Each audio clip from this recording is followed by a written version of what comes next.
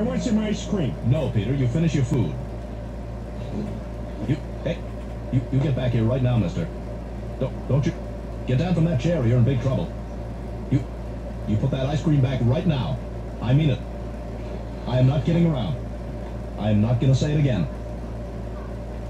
If you put that ice cream in your mouth, you are going to be in big trouble, young man. You? Huh?